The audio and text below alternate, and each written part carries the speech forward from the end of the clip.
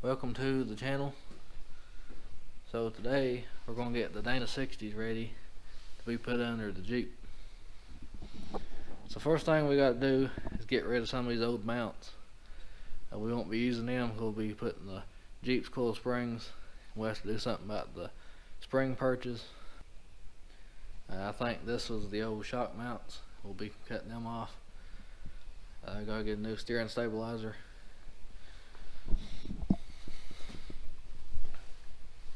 on this side I gotta do the same thing cut these mounts here off and these. I've already took the cover off got all the fluids drained. Probably gonna go through this and make sure all the seals are good. I do have all new brake calipers for uh, both of these axles. So first things first I'm gonna start cutting these mounts off then we'll go from there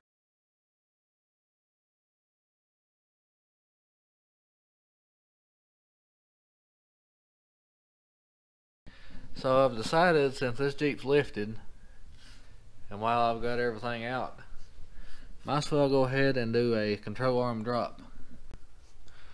Now you can either do long arms or you can do a control arm drop brackets and this will correct your control arm angles. The higher you lift the Jeep the farther the axle pushes back and that makes your control arm angles worse which will decrease ride quality and it'll limit a bunch of things. So I picked up these control arm drop brackets. Should be pretty easy to install, especially while I got everything out.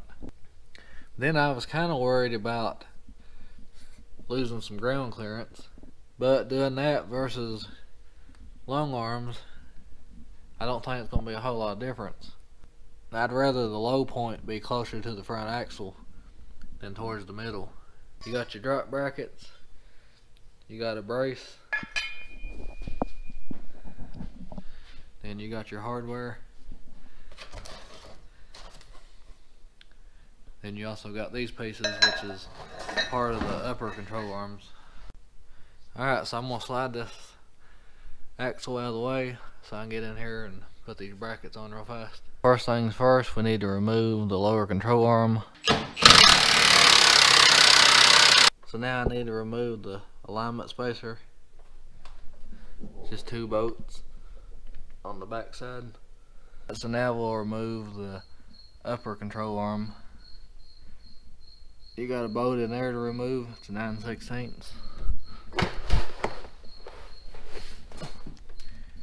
Then you need to remove that nut right there. So now that that's out of the way, we'll take our drop bracket. Here's the here's the passenger side. We'll just slide that up in there. And you got a bolt and a sleeve, and you install the sleeve in between that. So now we got side bracket to install. This helps tie into your uh, upper control arms. So you also get a bolt of that, another sleeve, and you need to install this bolt right there in the frame. Then right between there that's where you'll put your sleeve. So to put the side bracket on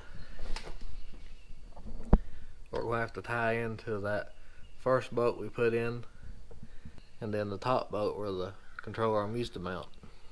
So this bracket installs like this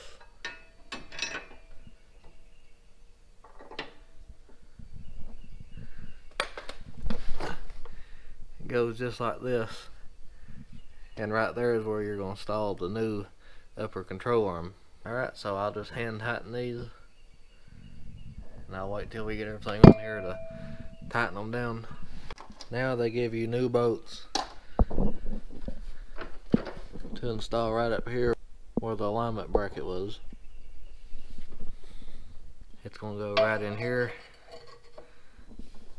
You got two bolts at the in to reinstall. Now that our alignment bracket's in.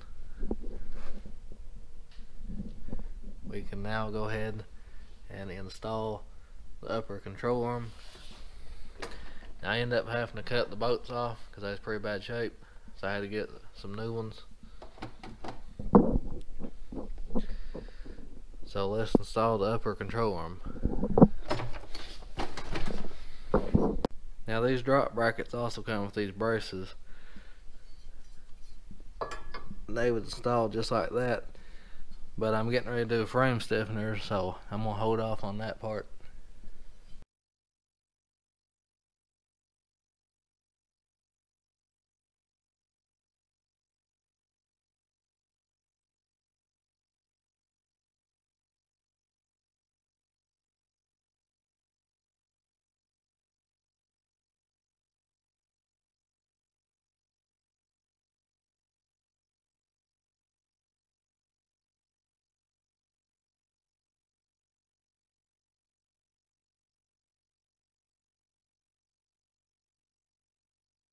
Okay, so I got the truss sitting about where it needs to be. They even have that cut out for your breather hose there. So they make this top part where this top piece can pull up and they've got little spots here and I'm gonna go ahead and tack those areas and I think the reason they make this top piece removable, so after you get these bottom pieces welded, you can pull this up and be able to get it inside of it.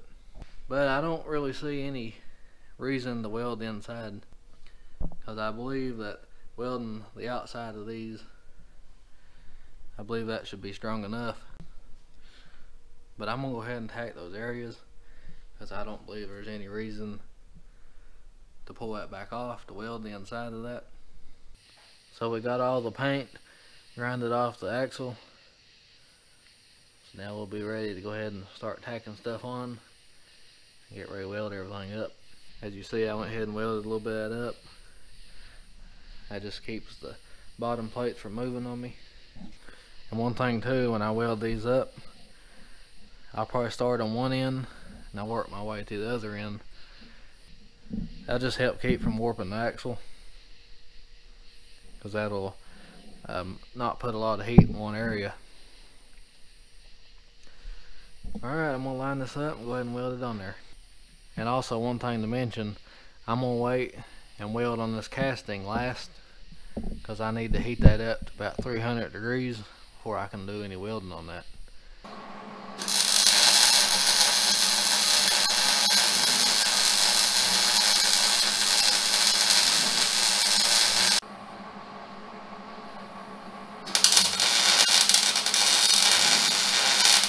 Now we'll flip the axle upside down.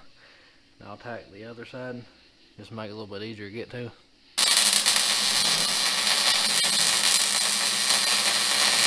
Now I kind of got that tacked on there. Now we can go ahead and tack on our coil brackets.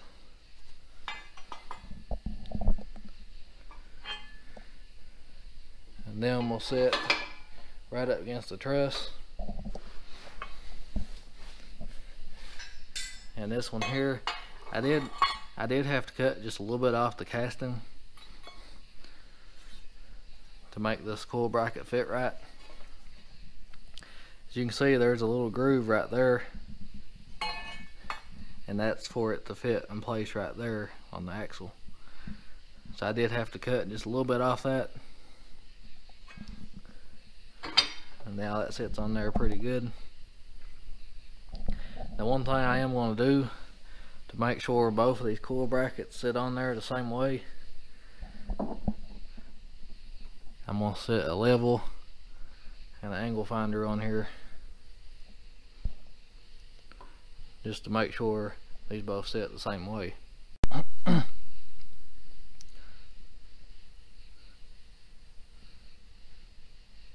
okay, so this coil bracket sitting right on dead zero. So we need to make sure we get this one on zero also.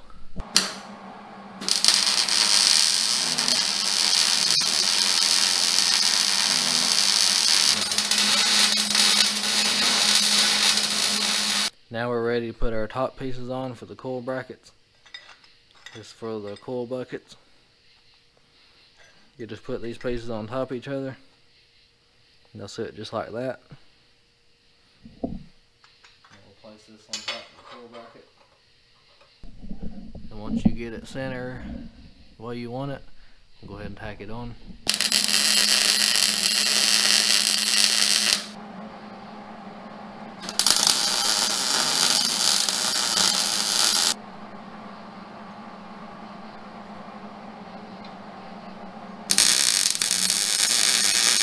Now we'll install our shock pieces. These are the tabs for the shocks. Uh, you can adjust these. These will slide back and forth. That allows you to run different size shocks. So I got a new set of shocks. So I'm going to take the bushing and I'm going to line that in there. That way I know what size to put in the bracket. Alright, so I got that lined up where I want it. As you can see, I got a little bit of room to play between the bushing. So I'm going to go ahead and take that bolt back out and go ahead and tack that on there.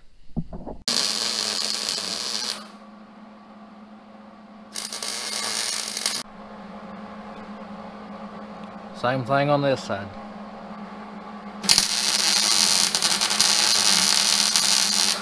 Next piece upper control arm mounts. As you can see there's little tabs. Those will just slide right in.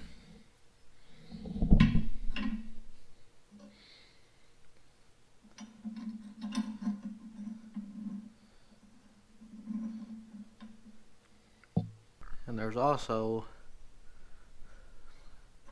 a little area for a grease fitting. And I'll probably put that towards the front so I can get to that better with the grease gun. I made it just a little bit wider on the top. That way I can get the grease gun in there better. Now we'll do our passenger side upper control arm mount. Going just like that. Also has some tabs. And you got this piece to slide onto.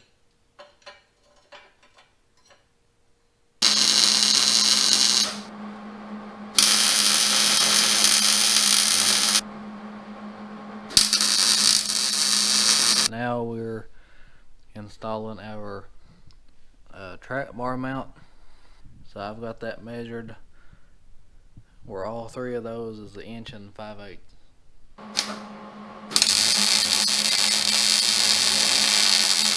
So I pretty much got everything tacked on here uh, the only thing I ain't gonna put on is the sway bar mounts but if we ever want to which most likely I won't. I've got pieces for that too. I've got little tabs right there. So I've got the bushings in. Uh, that's pretty easy. I just able to take a hammer and just gently tap them in. So everything's basically tacked besides the lower control arm mounts. And I'm going to wait and do that last. Because I need to roll this under the Jeep and figure out exactly where I'm going to put them. So the instructions say to put the lower control arm mounts as far out on the axle as you can go. So my lower control arms was the fixed ones. They didn't have any heim joints in them. So I went and purchased a set of adjustable lower control arms from Rubicon Express and they have a heim joint in it and I'm thinking that will allow it to move over enough so I can put them on the edge. So here is the new adjustable control arms. I wanted the adjustable ones. That way I could adjust the angle of the axle the way I need it. And I went ahead and spent a little bit of extra money and got adjustable upper control arms too. Because the kit says that these mounts right here are three inches higher than the factory. Alright, so I got the axle under the Jeep. I went ahead and put the upper control arms on so the axle will be lined up where I needed that. And now, now I got the lower control arm brackets on the lower control arms. That way I can put it up here and get it lined up. And then I'll tack it on.